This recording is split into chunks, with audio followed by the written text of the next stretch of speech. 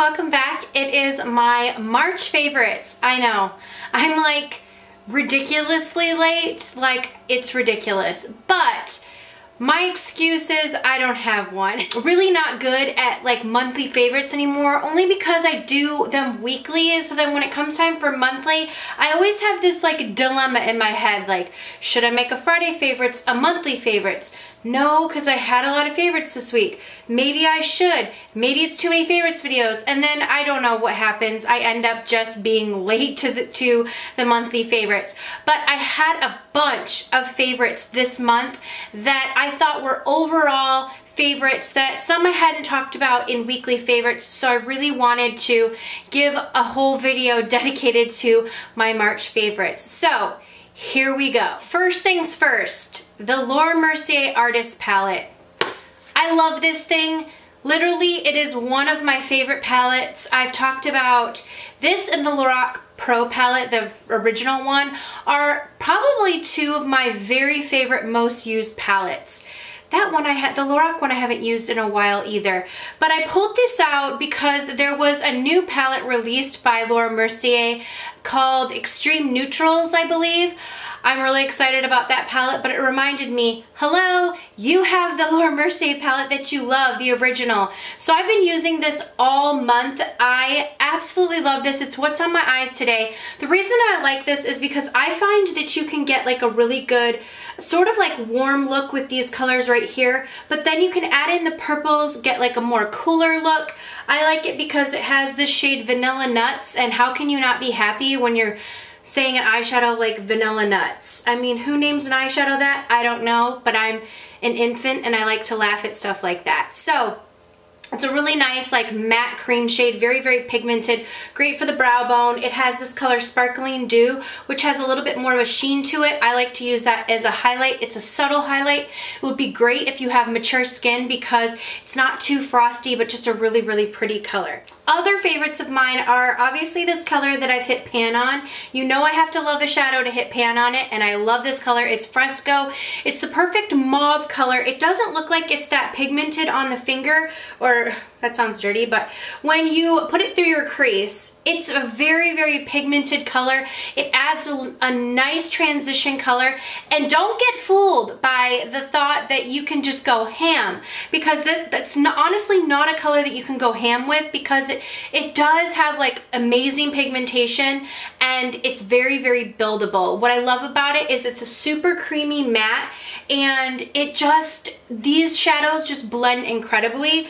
Uh, the reason that I absolutely love this palette are because of these purple shades. They're super pigmented, they're really nice and wearable. You have this like matte color called Violet Ink, and then you have a deep dark brown color called Espresso Bean. I love doing like a really rich smoky eye using that color instead of black all over the lid. And then I take this color called Truffle right here. I don't know why I keep closing this palette. It's like pointless. I keep talking about it.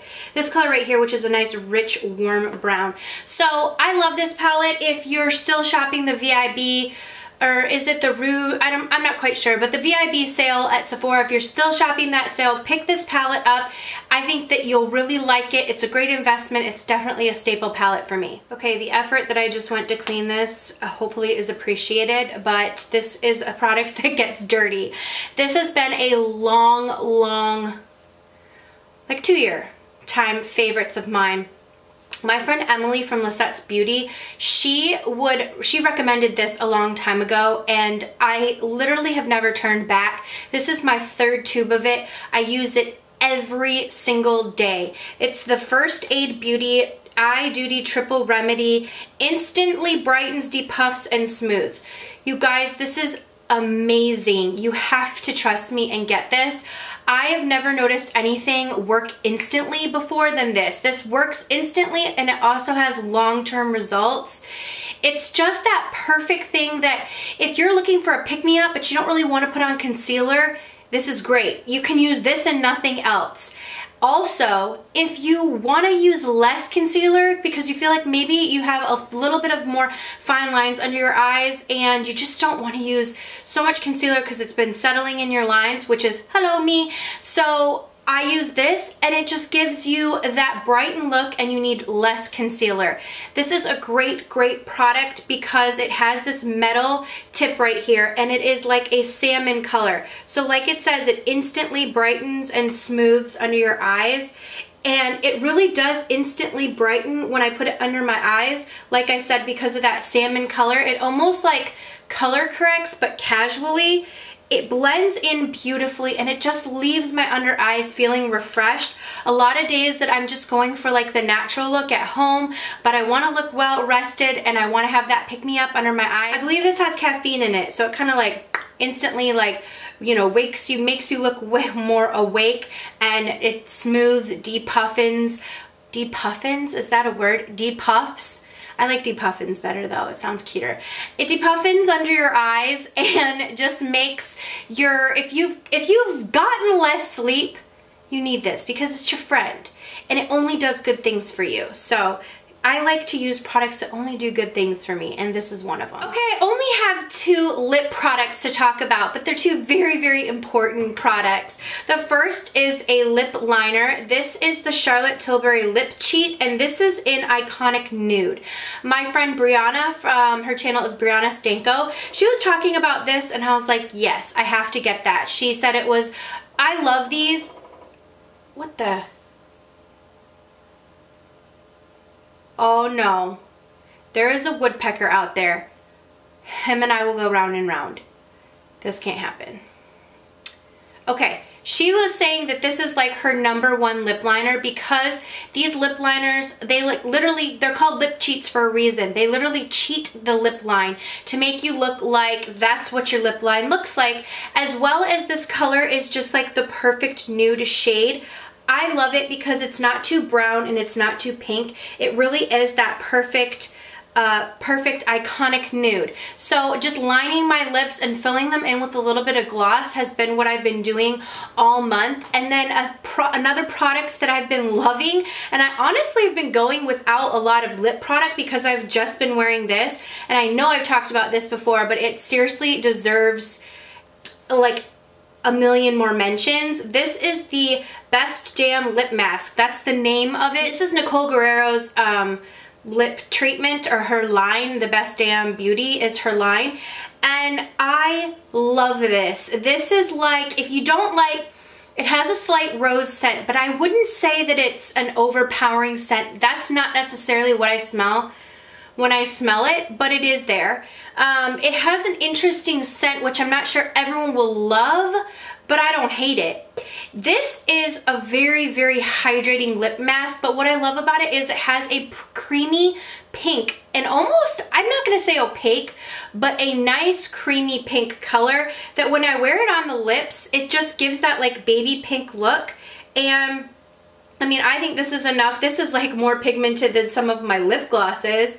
And it's a lip treatment. So I wear this overnight. I wear it all during the day. I wear it prior to putting on my makeup. This is just a really great product. I find it really hydrates my lips, feels comfortable on my lips, and I love the pink color that it gives off. As you can see, like it's that creamy, um, baby pink color and it looks good on the lips. It doesn't look like too baby pink. It has like enough sheerness to it with that creamy milky consistency.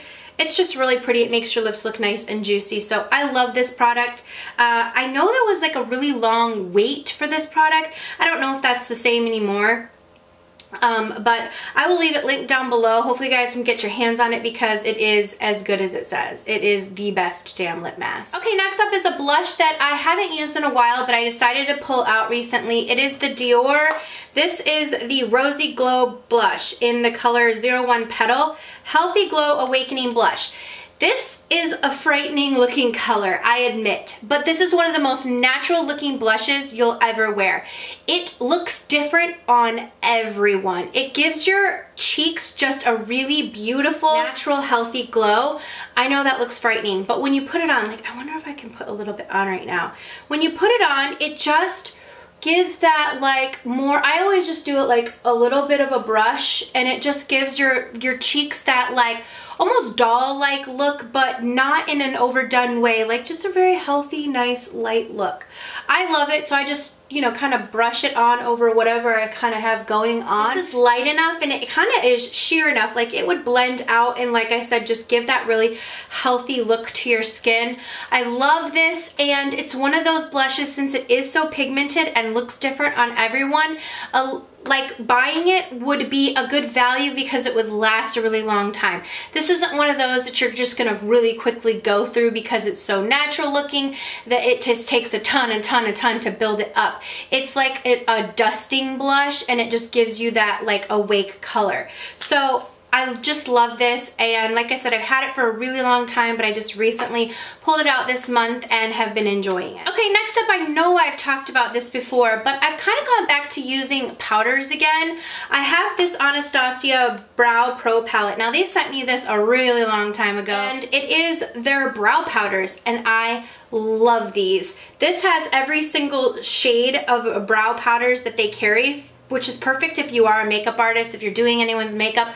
Every time anyone ever asks me, my friends or anything to like do their makeup, I always bring this because I think powders are a little bit more forgiving on um, eyebrows and they're a little bit easier to work with if you're someone who's new and like I think a pencil can be very intimidating to someone. So using a powder just gives the feeling that it can be dusted away if you make a mistake and these are, like I said, just really, really forgiving, but they do stay on my eyebrows all day. So I go between the taupe color because it has like the division of each. So I go between taupe and blonde.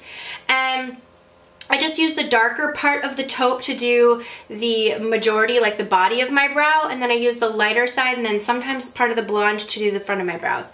I really, really like these. Like I said, I find that they stay in my eyebrows all day and I just really like the, um, I feel like they're just more forgiving on my eyebrows and Recently I like trimmed up too much of my eyebrows. They looked sparse, they look crazy. So if you ever catch a picture or a snap of me at the end of the day, it's like my eyebrows are doing something funky, like just ignore me because I am having like an eyebrow crisis right now. So whatever I can do to keep my eyebrows looking all right, I'm gonna do it. So I've kind of gone back to powder. I swear this wasn't planned, but I got another palette from Anastasia, um, the contour kit. I went back to the original contour kit. I have been really trying out a whole bunch of different contours and you know there's always new products coming out but I haven't really shown a ton of love to this palette. You know what I also like this palette for? This makes a really great eyeshadow color, these two do. I really like them as like all over eyeshadows with my MAC Give Me Sun that makes a really pretty eye. But anyways, I have been using this to contour. I use the middle shade and this shade um, to contour and I've really been liking it. I like the way that it looks. It's pigmented enough and I really like the color. And then also I've been using this to set under my eyes. I'm not gonna lie, this is a little bit yellow for under my eyes. Uh, it's just, it's kind of dark for me right now to be quite honest. Let me try and give you a swatcheroo of these contour shades. I don't know if that's going to make a difference, but I just really like that shade right there. I find that it doesn't make me look too orange and it doesn't look too cool. It's that perfect contour shade. So I've really been enjoying this and yeah, I guess while the sale is going on right now, if you want to, I know, I think Sephora does carry these. I'm pretty sure they do. So this is the original contour kit. I know they did have a light and a medium or whatever, but this, or like a lighter and a darker I don't know. This is the original one though. So that is it for my March favorites. I hope you guys had a wonderful month and an even better April. Thank you guys so much for watching. As always, leave some of your favorites down below. You know I love hearing them. And I'll see you all in the next video. Mwah.